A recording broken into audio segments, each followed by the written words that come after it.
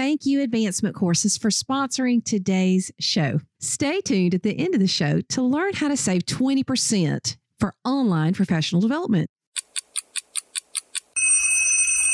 Restorative justice and consequences that actually improve behavior. Episode 473. The 10 Minute Teacher Podcast with Vicki Davis. Every weekday, you'll learn powerful, practical ways to be a more remarkable teacher today. Hacking school discipline nine ways to create a culture of empathy and responsibility using restorative justice. We have the two authors of this book with us today Brad Weinstein and Nathan Maynard, both who are from Indiana at Purdue Polytechnic High School Network. So let's start off with you, Nathan. Define restorative justice for us and why do we need it? So, restorative justice is the practice of repairing the harm when there's harm caused. So, the old technique for discipline is the carrot and stick method.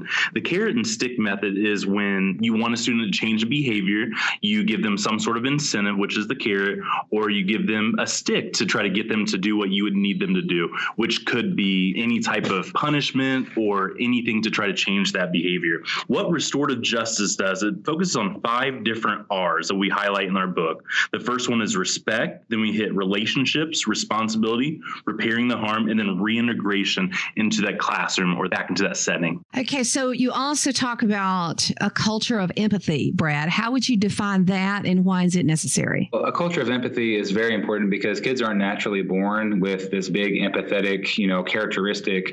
You see kids who will cause harm to other kids and not seem to care or not even realize how their actions are impacting others. So when we have a culture of empathy, we want to make sure that students and their social emotional skills are being taught explicitly in classrooms.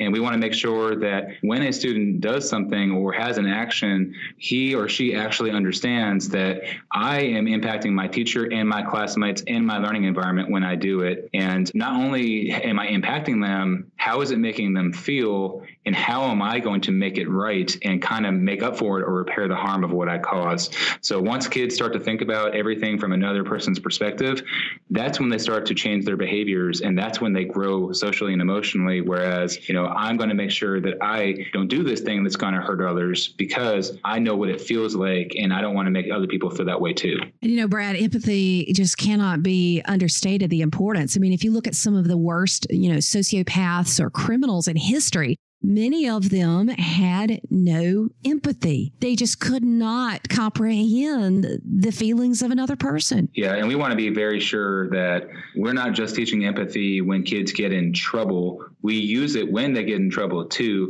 but we want to make sure that these social and emotional skills are part of our everyday classroom. And, you know, we even find stories that we can talk about with characters and point out those social emotional skills as well. We also have classroom circles to start the classroom with where we can kind of build those skills. We can have each other talk. We can talk about how what I'm doing is affecting you. So basically, we make it kind of part of the school culture, not just something you do when you get into trouble. So, Nathan, give us an example of one of the suggestions in the book. So, one of the suggestions in our book really highlights how to seek to understand behaviors. What we find is that every behavior is a form of communication, and there's normally something that is driving that behavior. So, one of the methods that we use in our book is something called the iceberg method. What the iceberg method is, is a way for students to really unpack what's behind a behavior and what's sort of those other feelings that they've been dealing with. So, could you give us an example of how this would work? Yeah. So, let's say a student is in your classroom and they have an outburst they get angry and let's say they start to cuss or get upset and they're removed from that setting. What the iceberg method does is it shows you that what's sticking out of the top of the water is the tip of that iceberg, and that's that anger. What's underneath that is any other emotions that the student may be facing. So let's say they've had some relationship problems they've been addressing, they've had some issues at home that day. Those are all things that are underneath that iceberg that us as teachers, we can't see that. All we can see is that tip of that iceberg, which is that anger. Yes. And there is always something behind that sort of thing. Kids don't act out for no reason. I mean, there's always a reason. Uh, so, Brad, you also have a way that you want to share. What's that? So when we have a student and we want to address them, and before we log an event, we want to make sure that we preview what exactly the expectations are. So in other words, every time you start a class, you need to preview the expectation. So keep a clean and safe environment, be respectful of others. So in other words, we have these broad expectations that we constantly remind the students of to keep that at the forefront of what we expect them to do in class. So be very explicit that we want to make sure that we're going to have a great class today and here are our expectations. Then if you see a student breaking the expectation, so if a student is talking while you're talking, instead of yelling at that kid or sending that kid out of class, you simply warn the kid in a positive way. Remember the expectation was that we are respectful of others at all time. When you're talking, when I'm talking, that's not being respectful of the speaker. So you kind of give them a little warning that, you know, if you do that again, I'm going to have to record this in behavior flip or whatever your student behavior system is. If the kid continues to do that, in a lot of classrooms, what happens is if you do that again, I'm going to really do it this time. And then after the fifth time of saying some kind of empty threat or empty warning, you don't do it, the kid loses complete respect for you and the classroom environment. So what I recommend is you give a preview, you warn the kid, then you actually follow through with the consequence. So if the consequence is I'm going to log this into behavior flip, then do it a lot of people don't actually do it. Or if you say, I'm going to call mom, you need to actually call mom and follow through with what it was you were going to say or what you were going to do. You know, I knew somebody uh, when my children were young and their children were young, and they would say, You have to do this by the time I count to three. So they would misbehave until they got to the number three. And you're just like, okay, um, let's get rid of the counting and just have them not do this behavior. Exactly. And kids pick up on that too, and they don't take you seriously. And it's to have a classroom of respect and to have a classroom of high expectations. It's not to have a classroom where all the kids are being compliant. It's to have a classroom where everyone's contributing towards that positive classroom environment. And when a student breaks that norm, it's something that actually needs to be dealt with. Absolutely. So, Nathan, what about consequences? Yeah. So, when we're giving out a consequence, after we seek to understand that behavior, we want to hit on two different aspects. We want that consequence to be logical. So we want that to focus on what the behavior was. So if a student gets in trouble in the classroom for throwing something, does it really make sense for them to have a consequence of being kicked out of that classroom? Because that might have been what they were trying to do. So a logical consequence really pairs with what they did. So if they were throwing something in the classroom, maybe they can stay after class and, you know, clean up that classroom. We also want that to be restorative. So when harm is caused, we want them to be able to repair that harm. They obviously can't go back in time and you know take away what their actions are, but they can try to find a way of who did I affect by throwing something in that classroom? Well, I affected the teacher.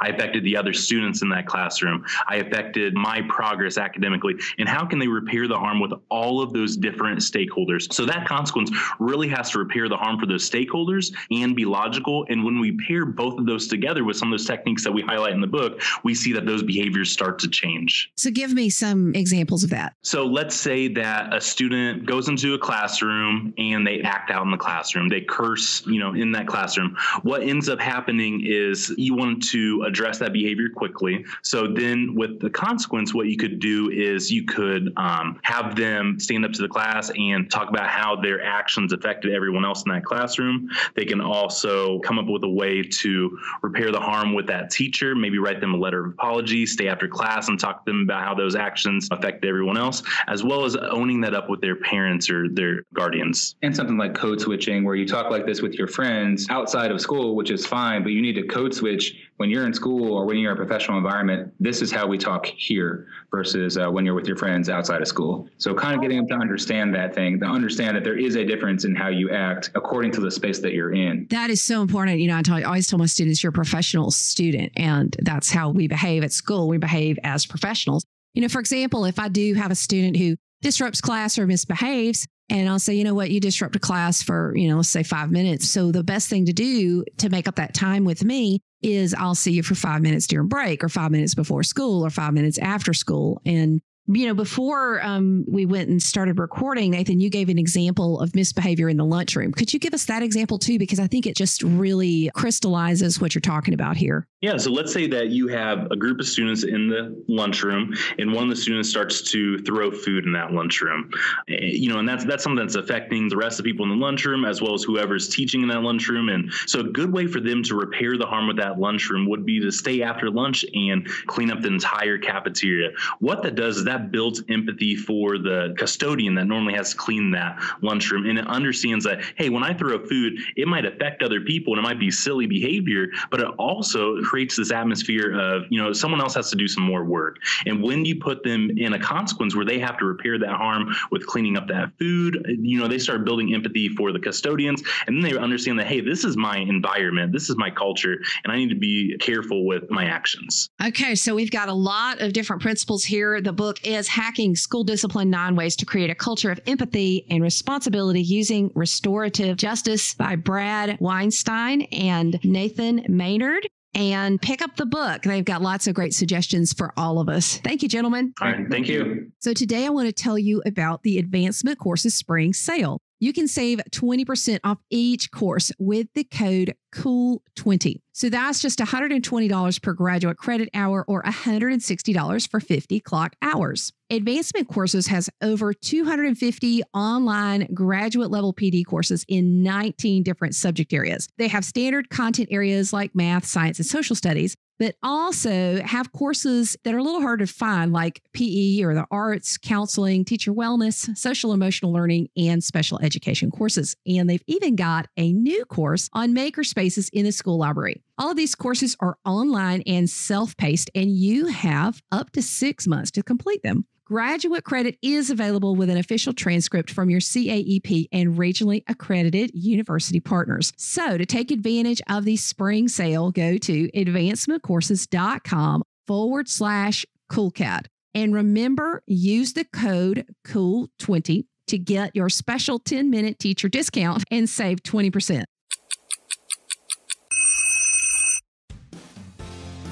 Thank you for listening to the 10 Minute Teacher Podcast. You can download the show notes and see the archive at coolcatteacher.com forward slash podcast. Never stop learning.